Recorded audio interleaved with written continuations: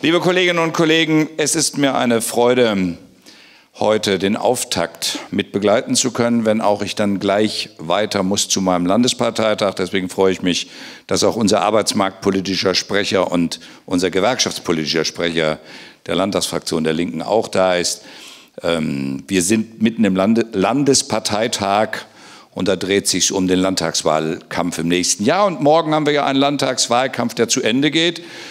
Und wenn man es mal genau nimmt, wissen wir noch nicht so ganz genau, was morgen Abend 18 Uhr 1 sein wird. Ich habe gestern von der Forschungsgruppe Wahlen ein Umfrageergebnis stand gestern gehabt. Das war interessant. Ich konnte Hessen-Sudoku draus machen. Alle Parteien mit allen konnten immer, und es kam immer die Zahl 48 raus. Also seien wir gespannt, was morgen passieren wird. Ich sage das deshalb, weil die Bemerkung, dass es Selbstverständlichkeiten gibt, die nicht mehr in Frage stehen, diese Bemerkung kann ich durch meine Lebenserfahrung nicht teilen. Äh, ich habe den Kampf um die 35-Stunden-Woche bei den Druckern in Marburg mit der IG Druck begleitet. Ich war selber mit als Streikposten unterwegs. Ich habe später bei den Metallern in Stadt Allendorf mit als Streikposten gestanden und ich habe den Arbeitskampf 1989 als es um den Einzelhandel und den Schlado ging. Vielleicht erinnert sich der ein oder andere noch an den scheiß langen Donnerstag. Da sollte ja nur ein bisschen der Donnerstagabend die Läden geöffnet werden, um besser einkaufen zu gehen, weil unsere Bevölkerung verhungert, wenn nicht der Laden nach 18.30 Uhr offen ist ihr, Sie wisst, was eigentlich rausgekommen ist. Jetzt sind wir in der letzten Etappe und das hätte ich mir in der Tat nicht vorgestellt. Jetzt geht es darum, dass auch der Sonntag bereinigt werden soll. Also es geht nicht um die Frage, ob wir den Acht-Stunden-Tag verteidigen. Die acht Stunden im Tarifvertrag in Deutschland, die sind immer noch die Rechengrundlage, um daraus die Löhne zu errechnen. Es geht darum, dass die letzten freien Räume einfach geäxt werden und die Flexibilität so gestaltet wird, dass der Arbeitnehmer der Produktivität des Betriebes angepasst wird. Das ist die eigentliche Kernauseinandersetzung, in der wir mittendrin sind. Und, Kolleginnen und Kollegen, ja, den Acht-Stunden-Tag, heute 100 Jahre, müssen wir feiern. Aber wir feiern nächstes Jahr auch 100 Jahre Weimarer Reichsverfassung. Und die Weimarer Reichsverfassung und 100 Jahre Bauhaus. Also der Gang in die Moderne, die gekennzeichnet sind. Und die Weimarer Reichsverfassung ist am Ende nicht einfach nur geopfert worden, sondern sie ist am Mangel an Demokraten am Ende implodiert. Und die Auseinandersetzung, die stattgefunden hat, hat vom Ersten Weltkrieg dann in den Zweiten Weltkrieg geführt, in den Verheerungen und den Vernichtungen und all diesen Dingen. Und deswegen ist der Acht-Stunden-Tag auch einhergehend mit dem Beginn der Betriebsräte. Also so kurios das ja sein mag, aber die historische Wahrheit ist, aus Arbeiter- und Soldatenräte wurden Betriebsräte. Und nach 45 kam die Teilung der Betriebsräte in die duale Interessenvertretung, also die Trennung der Gewerkschaften von, der, von den Betriebsräten. Und diese Trennung hat wiederum dazu geführt, dass der Einfluss der Gewerkschaften auf Arbeitnehmerrechte immer geringer wurde und über andere Verteilmechanismen lief.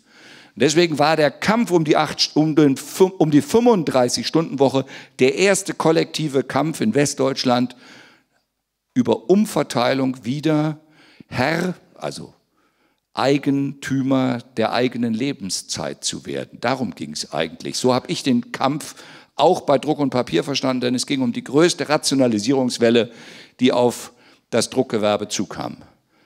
Und die IG Metall hat zum Glück politisch aufgesetzt und hat gesagt, sozialpolitisch, dieser Kampf ist der richtige Kampf gegen Massenarbeitslosigkeit. Die Begründung war nicht die Tariferhöhung. Die Begründung damals war politisch gegen Massenarbeitslosigkeit. Das war die Klammer der Solidarität zu denen, die aus den Betrieben rausgedrängt werden sollten. Und dann kam die deutsche Einheit. Auch da gehört es zur Wahrheit, dass der Kampf um die 35-Stunden-Woche in den neuen Bundesländern durch mangelnde Solidarität aus Westdeutschland kaputt gegangen ist. Stück für Stück ist Tarifvertrag für Tarifvertrag geopfert worden und es gab keine solidarische Haltung in den großen Firmen, Überstunden zu unterbinden, um damit den Streikerfolg zu ermöglichen. Und dann gab es den Kampf um die Magdeburger Volksstimme. Ich war dabei, stand vor der Tür, als die Hubschrauber die Streikposten, die Streikbrecher eingeflogen hat. Und ich habe erlebt, wie bei Knorrbremse auch mit Hubschraubern die Streikbrecher eingeflogen worden sind. Insoweit ist die Auseinandersetzung, die wir heute führen, eine Auseinandersetzung, die immer wieder geprägt ist durch Abwehrkämpfe. Also ein Automatismus, dass jetzt Gewerkschaften donnernd politisch den Sechs-Stunden-Tag auf die Tagesordnung setzen und sagen, wir wollen wieder über gesellschaftliche Veränderung reden. Diesen Automatismus sehe ich derzeit nicht, weil wir im Moment darum kämpfen, wie Gewerkschaften überhaupt noch Einflusssphären geltend machen. Jeder, der meine Vita kennt, weiß, ich bin Händler, ich komme aus dem Einzelhandel, ich komme aus der Arbeitnehmerbewegung, Jugendvertreter, Betriebsrat und später Tarifsekretär, Gewerkschaftssekretär, Landesvorsitzender Handel, Banken und Versicherungen. Und für uns war es selbstverständlich, dass die Tarifverträge allgemeinverbindlich waren. Damit haben wir ein Regelungssteuerungselement geschaffen, dass keiner seinen Vorteil auf dem Rücken des anderen erkaufen konnte. Das ist alles perdu. Wir haben einen Veränderungsprozess, der dazu führt, Karstadt und Kaufhof machen gerade eine Abwehrfusion, und zwar die Fusion der Schwäche, nicht der Stärke. Das Gerücht sagt Deutsche Bank und Commerzbank, das ist im Moment Gerücht, aber es deutet wohl einiges darauf hin. Auch das wieder ein Ausdruck der Schwäche, nachdem sie Steuergelder ohne Ende gekriegt haben. Too big to fail hieß das Wort, als sie genügend verzockt hatten. Und die schöne neue Welt, dass man das alles an der Börse organisieren könnte und den gesellschaftlichen Fortschritt an der Börse handeln könnte. Diese schöne neue Welt hat einen Irrtum nach dem anderen produziert, denn die Börse ist für Solidarität nicht zuständig. Und eine dritte Bemerkung, wenn wir heute den Acht-Stunden-Tag feiern, und ich finde, er hat es verdient, gefeiert zu werden, aber nicht nur historisch betrachtet zu werden, dann müssen wir auch an die Frauen in Krimitschau erinnern, weil die haben den Kampf um den Acht-Stunden-Tag blutig begonnen, weil er blutig gegen sie geführt worden ist. Und wenn wir in Thüringen darüber diskutieren, gibt es ein aktuelles Beispiel. Astrid Strien kennt es als Verdi-Vertreterin. Celenus Klinik. Also das, was Ryanair gerade im großen Stil gegen seine Mitarbeiterinnen und Mitarbeiter macht, macht der französische Konzern in der Celenus Klinik gerade auf brutalste Art. Seit drei Tagen wird ausgesperrt. Ein Wort, das ich, Ingrid, seit Jahren nicht mehr gekannt habe, gar nicht mehr zur Kenntnis genommen habe, dass es tatsächlich mir, es mir begegnet. Und jetzt machen sie es. Einfach, die Kollegen haben das Arbeitsrechtsverfahren gewonnen und sie kommen zur Arbeit, sie sollen wieder die Arbeit aufnehmen und die Tarifverhandlungen sollen wieder geführt werden und die Mitarbeiter werden ausgesperrt. Und der Arbeitgeber nennt das auch so. Also wir reden nicht um einen Betriebsunfall. Da wird frech der Kopf erhoben und da werden Fragen, Grundfragen an unser Rechtsverständnis in Deutschland gestellt. Und in diesem Kontext ordne ich das ein. Deswegen sage ich, Kolleginnen und Kollegen, wenn wir auf den Acht-Stunden-Tag schauen, dann müssen wir auf ein gesellschaftliches Thema schauen. Interessant fand ich eben bei beiden Liedern. Das ältere Lied vom sozialdemokratischen Gesangbuch verweist auf die Stärke des Staates weil der Kampf der Sozialdemokratie ein Kampf um den Staat war, um über den Stand die Regelmechanismen zu verändern. Und der zweite Text aus 78 sagt, wir wollen nicht verwaltet werden und das meint auch die eigene Verwaltungsstelle, liebe Kollegen. Ich habe die Zeit noch erlebt, ich bin ein etwas älterer Mitstreiter so. Manchmal fühle ich mich wie der rote Großvater, weil ich das schon alles live und in Farbe erlebt habe. Und die Frage des aktiven Arbeitskampfes oder in Marburg der erste Kampf, ob wir den 1. Mai auf der Straße begehen oder weiter mit Geigenmusik in der Stadthalle. Und das erste Mal, als wir den 8. März in Marburg begangen haben und unser Kollege Joachim Klett von der Landesleitung HBV Frankfurt dafür verprügelt worden ist, ein kommunistischer Feiertag auf einmal zu begehen.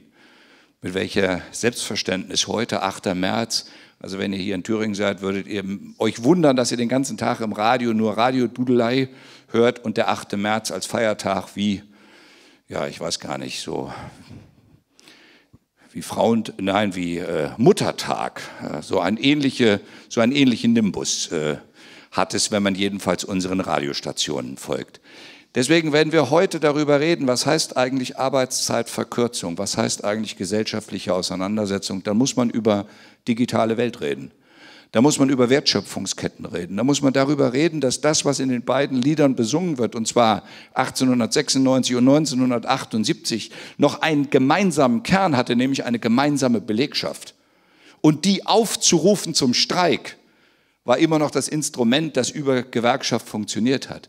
Was machst du in einer digitalen Wertschöpfung, wo es Freiberufler, Selbstausbeutung, outgesourcete in Größenordnung gibt? Und die Frage alleine, wer kann sich noch eine Rentenversicherung erlauben? Wer kann sie überhaupt noch bezahlen als outgesourceter?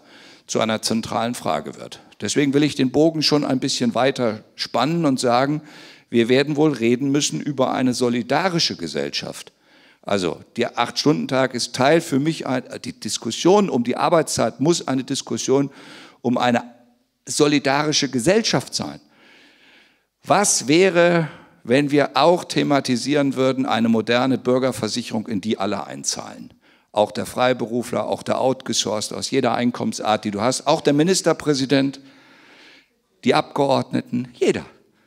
Und zwar aus jeder Einkommensart, die du hast unabhängig davon, ob du Arbeitnehmer bist oder nicht, sondern aus den Einkünften, dann hätten wir ein solidarisches Sicherungssystem, das zumindest auf allen Schultern getragen wird. Diese Diskussion führen wir weder in der Linken zu Ende, äh, Axel Trost erinnert sich, wie oft wir in der Bundestagsfraktion manchmal auch an unserer eigenen Gewerkschaftsfraktion gescheitert sind in dieser Frage. Und Gesamtgesellschaftlich gibt es zu viele, die immer sagen, nein, wir trauen uns das nicht zu, also fangen wir es erst gar nicht an. Aber das siebte Rentenmodernisierungsstabilisierungsgesetz, das wieder nur Opfer ausprägt, hilft uns doch gar nicht weiter. Die Sozialdemokratie siegt sich gerade in der großen Koalition zu Tode und verliert Gesamtgesellschaft überall, weil kein Mensch mehr versteht, um was da gekämpft wird. Deswegen sage ich, wir werden etwas gründlicher die Diskussion über gesellschaftliche Verteilmechanismen führen, denn tatsächlich, früher gab es die Komponente der Umverteilung noch als Teil des Tarifsystems. Das Wort ist heute ein Fremdwort. Wenn du heute sagst, Umverteilung war die erste Komponente, dann der Rationalisierungsfortschritt die zweite Komponente und die zusammen begründen, warum wir nicht einfach nur die Inflation ausgleichen, dann giltst du schon als Kommunist. Und das ist in Westdeutschland immer noch ganz furchtbar. Deswegen sage ich, wir werden etwas gründlicher über gesellschaftliche Verteilmechanismen reden und über Wertschöpfung, die sich ganz anders organisiert.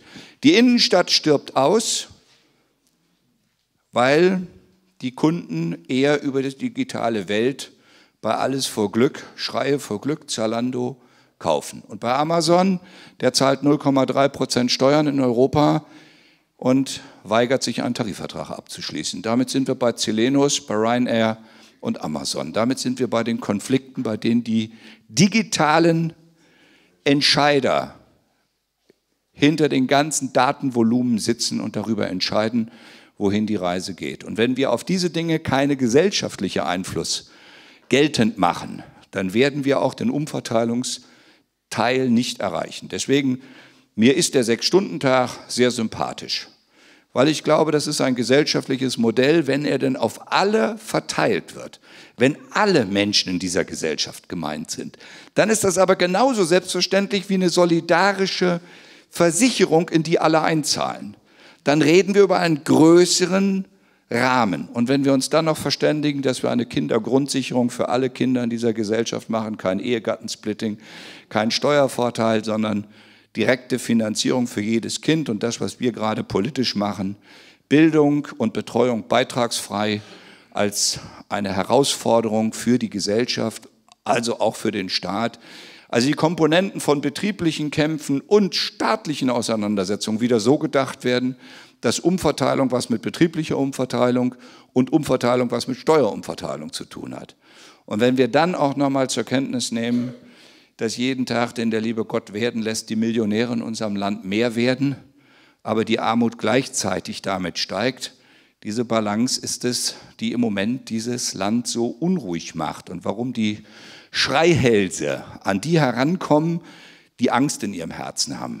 Also die Angst vor Altersarmut haben, die Angst davor haben, dass ihre Kinder keine faire Chance haben und dass diese Gesellschaft, unsere Gesellschaft, die noch nie so stark war, die noch nie so reich war, die noch nie so produktiv war, dass diese Gesellschaft kein Zukunftsversprechen mehr für die Menschen in diesem Land hat. Das ist die eigentliche Katastrophe. Und deswegen haben wir gerade einen massiven Rechtsruck.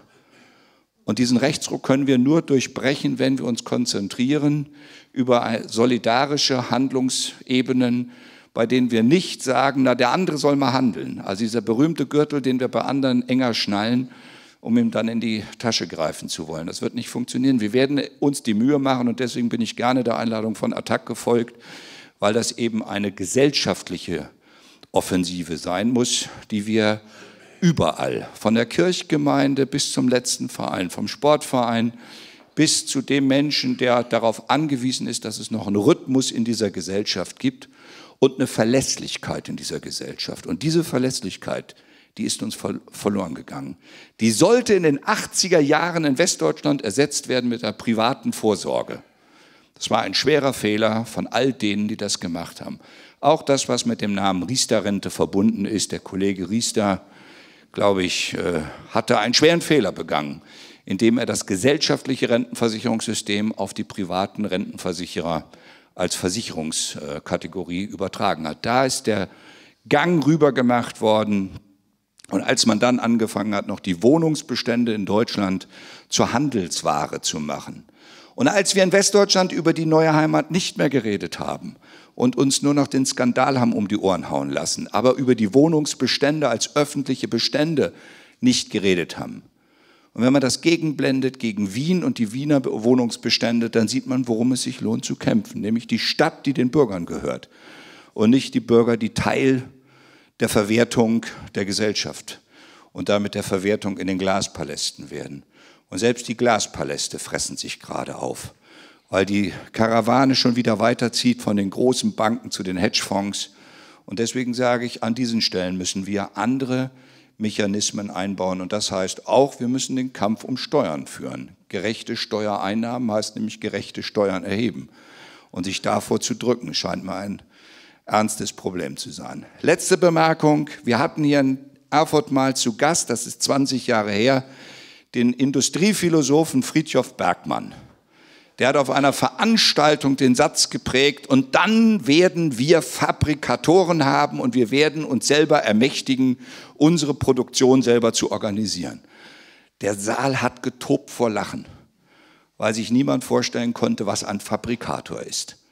Wenn man heute zur Hannover Messe geht und sich 3D-Druck anguckt und sieht, in welchem Bereich wir mittlerweile technisch unterwegs sind, wenn man sieht, dass mittlerweile alles auf Online umgestellt wird, und wenn man weiß, dass der neue Chefredakteur der Thüringer Allgemeinen gestern den Slogan ausgegeben hat, ab heute gilt Online First, dann weiß man, wohin das geht. Und wenn man dann sieht, wie Druckerei für Druckerei geschlossen wird und Redaktionen nur noch Füllhanselt sind, um irgendwas zu bringen, was Klicks bringt, und die Klicks müssen möglichst blutig sein, dann weiß man, welches hysterische Klima in unserer Gesellschaft geschürt wird. Und deswegen, Kolleginnen und Kollegen, ich habe keine Lust, mich mit der AfD auseinanderzusetzen. Ich habe aber Lust darauf, mich mit solidarischen Sicherungssystemen auseinanderzusetzen. Wir müssen es positiv erzählen.